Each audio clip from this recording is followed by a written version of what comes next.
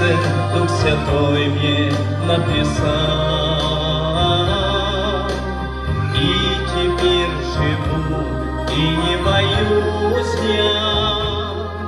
Он меня оправдал, возлюбил и призвал. А когда опускались руки мои, закрепались, чтобы не петь, до последней минуты он знал эти дни. Потому и не мог я в огне том сгореть.